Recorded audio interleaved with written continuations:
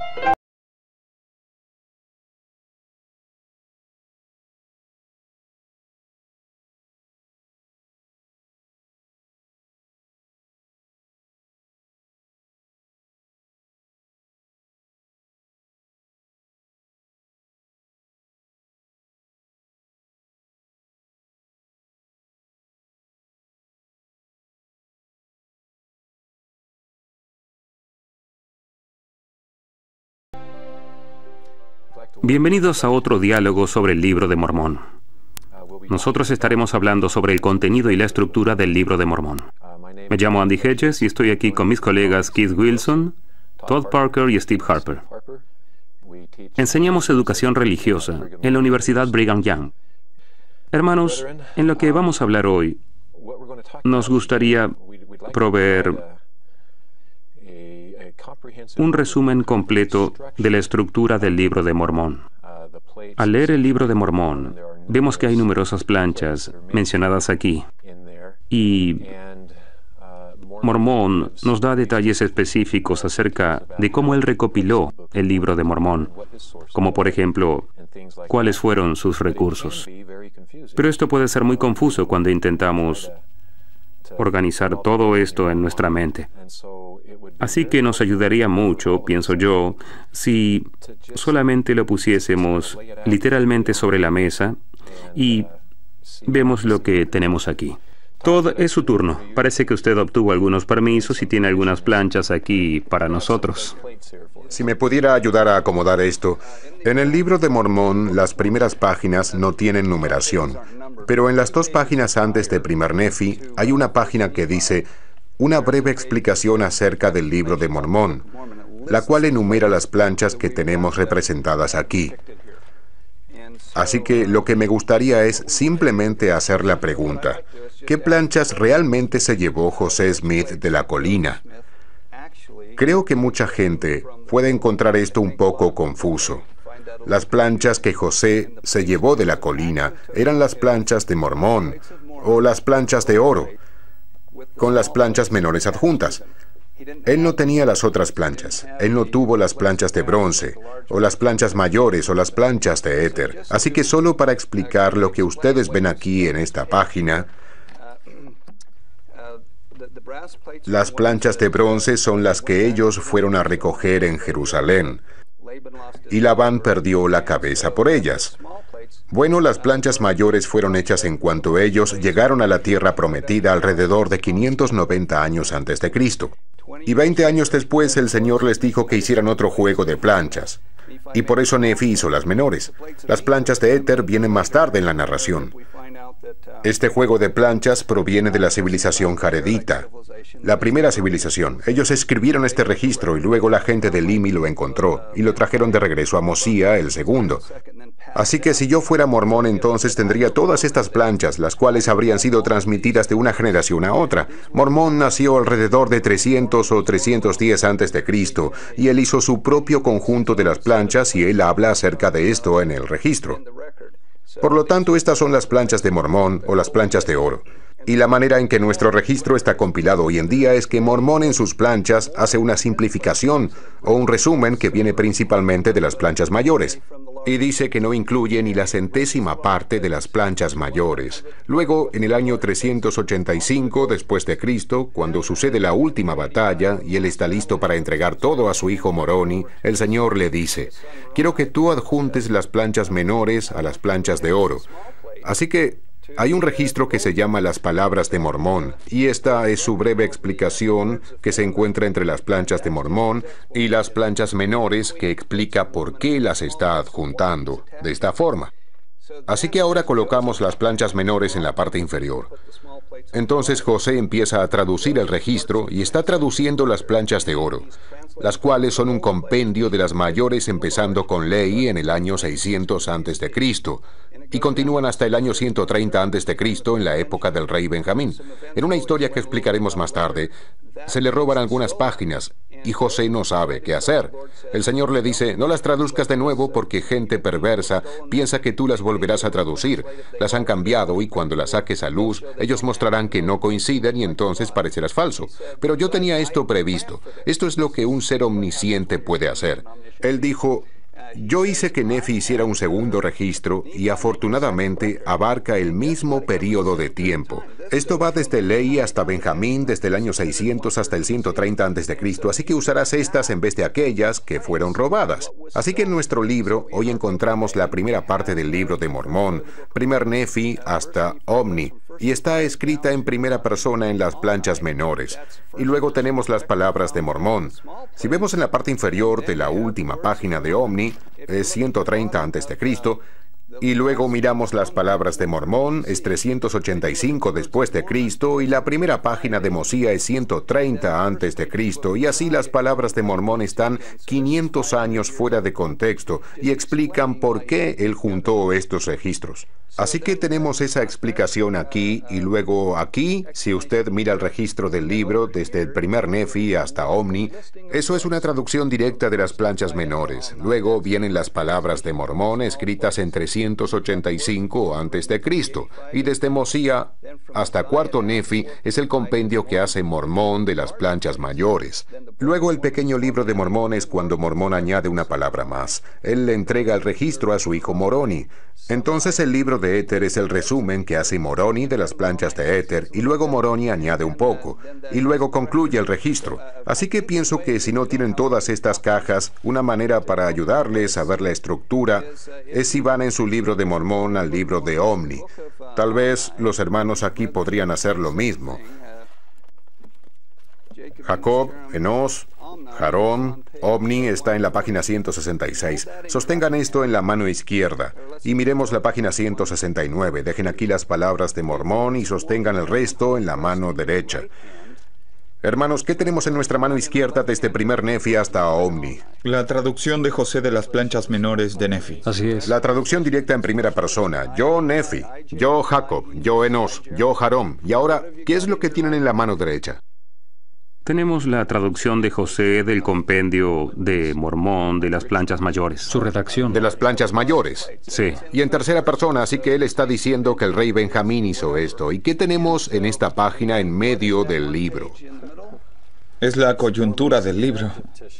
Sí, este es el puente entre estos. Ahora bien, una cosa que quisiera añadir antes de que quitemos las planchas. José no tenía las planchas de bronce que Nefi y sus hermanos fueron a recoger en Jerusalén, pero Nefi citó parte de ellas en las planchas menores. Y así es como tenemos los capítulos de Isaías y también la alegoría de los olivos cultivados y silvestres, igual que los relatos de Senoc y de Senos.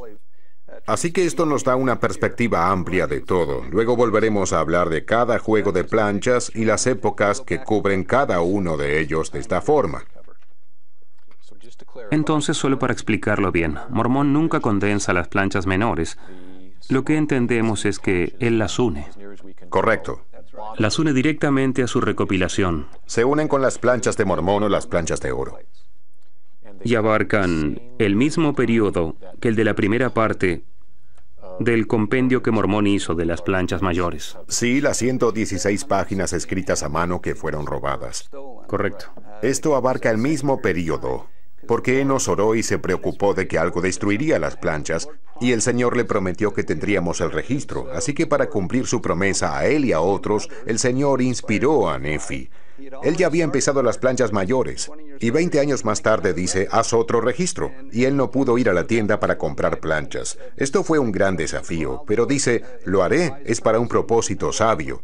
No sabía cuál era el propósito, así que hizo el segundo juego, el cual contiene la información religiosa, y reemplazó el compendio que trata de la historia.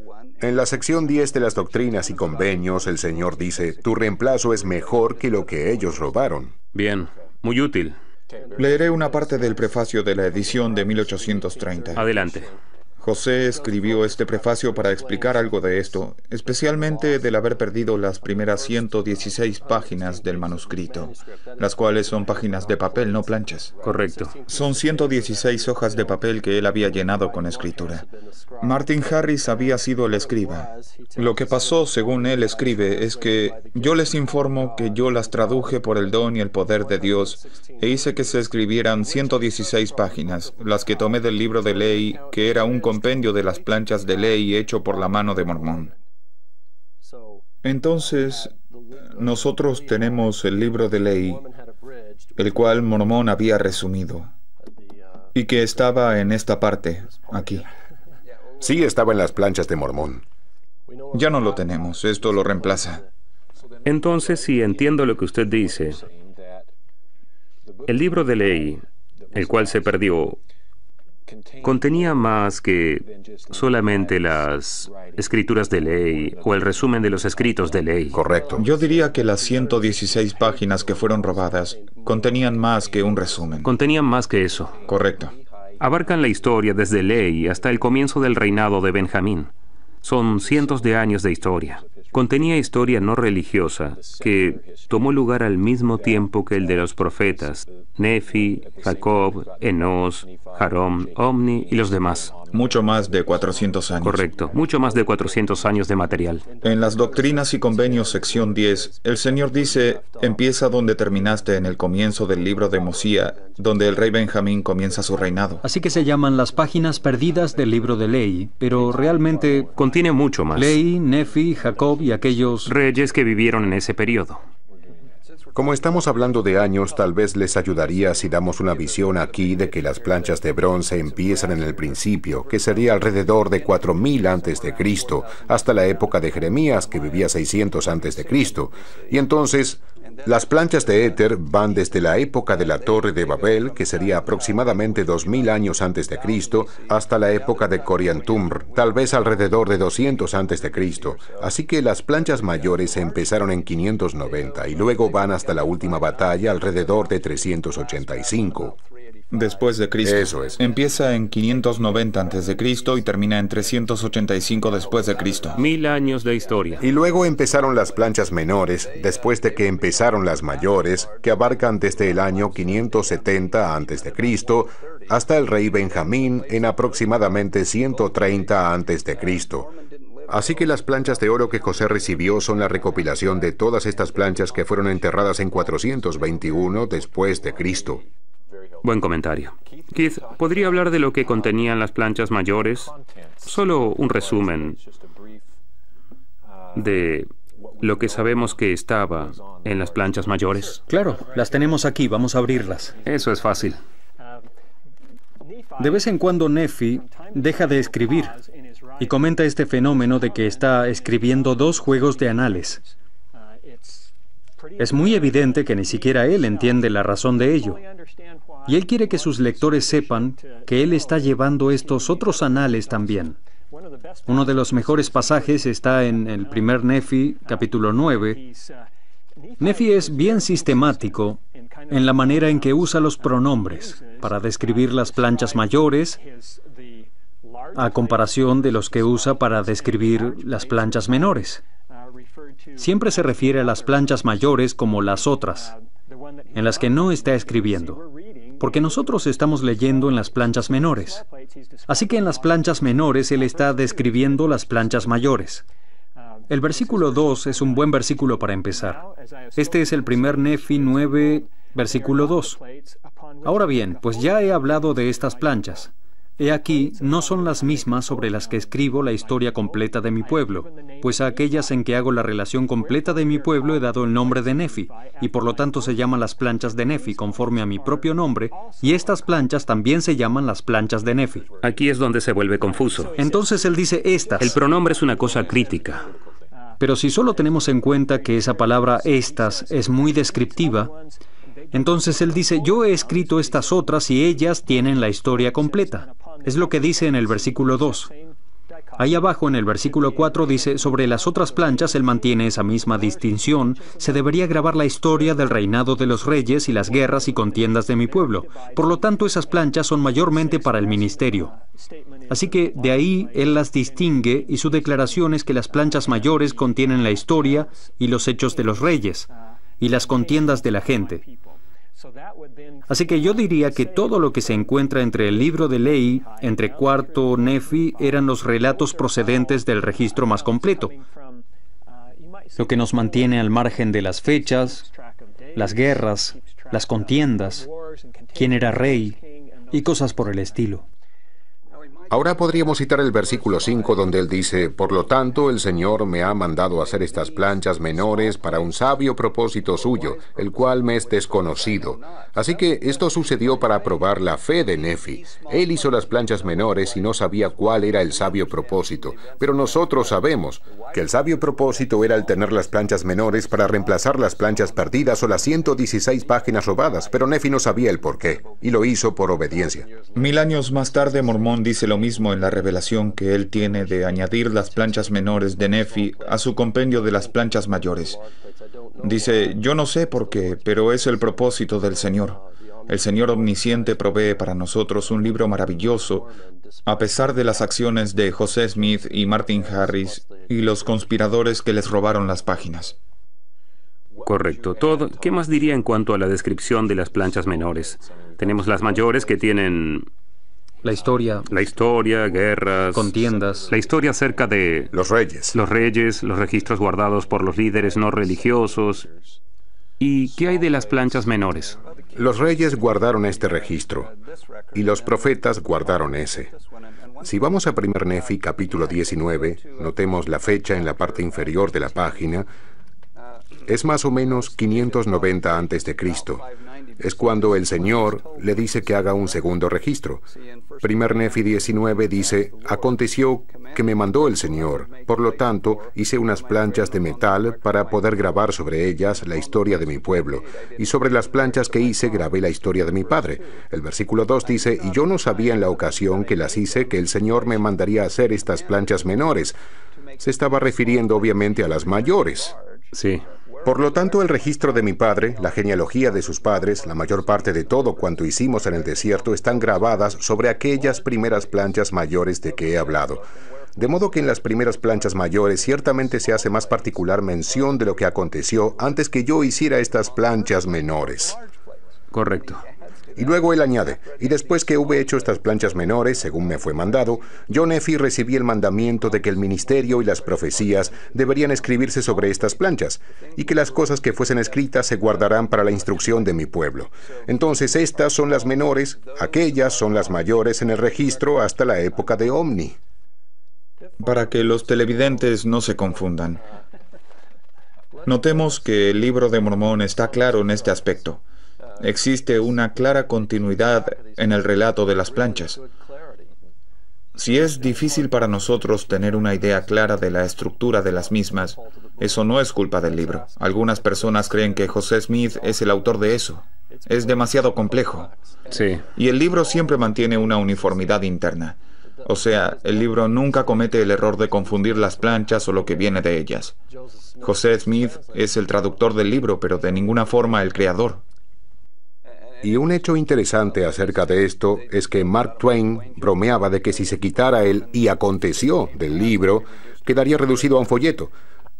Se usan las palabras y aconteció 198 veces desde primer Nefi a segundo Nefi, 530, porque Nefi escribe acerca del pasado, y luego él llega a la fecha actual, y desde 2 Nefi 531 hasta el final de 2 Nefi él nunca usa y aconteció. Y lo mismo es cierto con Moroni, cuando está recopilando las planchas de éter. Cuando está escribiendo de las cosas del pasado, dice y aconteció, pero luego al llegar a sus propios escritos, él ya no usa el aconteció. Está al día. Tiene uniformidad interna. Sí, Twain no lo había examinado muy detalladamente, ¿cierto? Quiero decir que cuando se refiere al libro como cloroformo impreso, siempre he pensado que si él hubiera leído más hasta llegar al libro de éter, se hubiera animado muchísimo. Estoy también muy impresionado con la explicación de Mormón en las palabras de Mormón de lo que él está haciendo.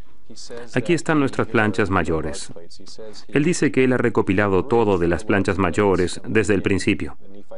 Y Nefi comenzó hasta los inicios del reinado del rey Benjamín. Y luego dice, si puedo encontrarlo aquí, las palabras de Mormón son tan pequeñas, son fáciles de perder. Como en la página 169. Sí. En el versículo 3 dice, hice un compendio desde el principio de las planchas mayores hasta cuando empieza el reinado del rey Benjamín y luego busqué entre los anales que habían sido entregados en mis manos y encontré estas planchas, las planchas menores. Las planchas menores. Él ni siquiera sabía que las tenía.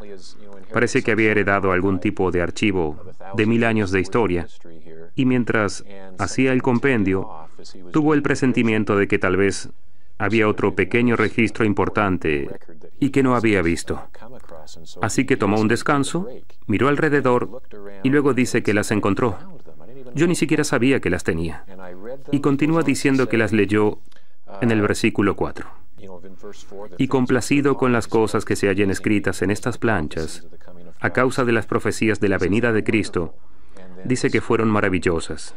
Y luego, el Espíritu me dijo que tomara estas planchas menores que acababa de encontrar y de leer y las pusiera con el resto de los anales que estoy creando. Y continúa hasta el final. Es un gran proceso, ¿no? Realmente lo es. Y ve que hay inspiración cuando se hace necesaria durante el proceso. Lo que tengo entendido es que Nefi escribe lo que hace. Y cuando lo hace es porque el Señor le revela que lo haga. Y lo mismo hace Moroni. Y hace un compendio. Quiero entonces atribuir la creación del libro de Mormón al Salvador. Sería bueno hacerlo. Definitivamente. Él es el redactor jefe. Podríamos tal vez darle ese título. El libro de Mormón es tal vez el libro más coherente que he leído. Con eso digo que en él hay mucho propósito. Los autores, los escritores, los que recopilan, ellos saben lo que hacen. Ellos saben lo que hacen porque el Señor los ha dirigido a que lo hagan. Es un libro lleno de propósito, que es acercarnos a Cristo, persuadirnos de que Jesús es el Cristo y hacernos saber que ellos sabían muchos años antes de su venida que Él lo era. Es una obra maestra. Es interesante la idea de que el libro sea coherente.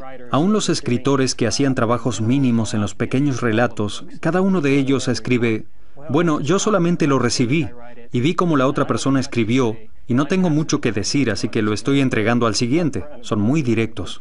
Los principales grabadores nos dicen que oraron acerca de esto y recibieron una promesa del Señor que sus registros llegarían a sus descendientes. Ellos tenían la visión de que esto se cumpliría y que llegarían a los gentiles y a las manos de sus descendientes. Tenían una garantía del Señor de que esto ocurriría. Pero aún con esto el Señor tiene que preservar el libre albedrío. José Smith tiene que tener la libertad de entregar esas páginas a Martin Harris, lo cual hace. Así que vemos que el Señor usa su omnisciencia para preservar el albedrío y a la vez guardar su promesa a la gente del libro de Mormón. Y algunos teólogos dirían, si hay omnisciencia, si Dios sabe todo, entonces realmente no hay libre albedrío. Lo que el libro de Mormón nos enseña es totalmente opuesto. Al saber todo, Dios no puede eliminar mis propias obras y planes, y tampoco los propósitos incluyendo el albedrío. Otra cosa maravillosa es que estábamos leyendo de las palabras de Mormón y en el versículo 5 oímos una frase que se repite mucho. Dice, no puedo escribir ni la centésima parte de las cosas de mi pueblo. Entonces, por cada 99 cosas de las planchas mayores, él escribe una. El presidente Benson continuamente nos recordaba que deberíamos leerlo y decir, él quien ha visto el futuro, ¿por qué omitió esto e incluyó aquello? Tenemos una centésima parte de lo que estaba en los anales. Y la gente es un poco crítica por el hecho de que no sabemos los lugares donde ocurrieron los acontecimientos del libro de Mormón. Podrían estar en Centroamérica. Yo estuve ahí y estaba sentado sobre un templo. Y el guía me dijo que solo habían excavado el 1% de las ruinas. Así que tenemos 1% de los anales y 1% de las ruinas. Y parece que tenemos un rompecabezas de 10.000 piezas y solo tenemos dos piezas. Y la razón es para enseñarnos de que Jesús es el Cristo. No es para darnos geografía ni para enseñarnos la historia. Es para acercar a la gente a Cristo. Ese es un punto muy significativo. Tenemos mucho que usted ha establecido aquí. Todo este material, o sea, usamos la palabra recopilar para decir que Mormón recopiló las planchas pero teniendo una perspectiva más amplia del por qué las recopiló y cuáles fueron las cosas que él extrajo de mil años de historia. Nosotros sabemos que lo redujo a lo más importante, o sea, él tenía a su alcance todo tipo de cosas para escoger, y él escogió lo mejor. Algo parecido es el proceso por el que pasó Nefi, porque él pasó por un proceso similar al de Mormón en el sentido de que trató de condensar sus hechos en las planchas menores porque ya había escrito otro registro y también se le había mandado a hacer algo diferente. Al hacerlo, él escribe un gran versículo que me encanta, acerca de por qué lo escribe. Es en el capítulo 4, versículo 15. Dice, y sobre estas escribo las cosas de mi alma. Sí. Y muchas de las escrituras que están grabadas sobre las planchas de bronce, porque mi alma se deleita en las escrituras. Y continúa, he aquí mi alma se deleita en las cosas del Señor. Como usted dijo, Steven, todo está centrado en Cristo. Esta es la razón principal que motiva a Nefi a hacer todo esto. Fíjese también que la intención literaria de Mormón es el poner énfasis en Cristo. Él selecciona el discurso del rey Benjamín, el cual estaba centrado en Cristo. Selecciona las enseñanzas de Abinadí, cuyas últimas palabras, las que Mormón se asegura de que queden en las planchas, son, enséñales que la redención viene por Cristo el Señor. Es un libro centrado en Cristo. Y luego Nefi mismo, primer Nefi capítulo 6 versículo 4, porque toda mi intención es poder persuadir a los hombres a que vengan al Dios de Abraham y al Dios de Isaac y al Dios de Jacob y sean salvos y este es Jehová o el Señor Jesucristo. Esa era toda su intención. Así es como comienza el libro de Mormón. Y termina. Y así es como termina. Y eso es lo que se puede encontrar por todas partes. Un erudito que no era santo de los últimos días escribió, el enfoque del libro de Mormón en Cristo es hasta un defecto. ¿Cómo podría ser eso? Es un defecto muy bueno, creo yo. Fue evidente. Es revelador que un no miembro de los santos de los últimos días que tiene ojo para esto, cuando las lee, también se da cuenta de que Nefi, Moroni y Mormón tenían el propósito de enseñar acerca de Cristo, profetizar sobre Él y acercar a sus hijos a Cristo por medio de sus escritos. Bien, hermanos, muchas gracias. Nos ha ayudado mucho y me ha aclarado algunas cosas. Espero que haya sido igual para los demás. Gracias.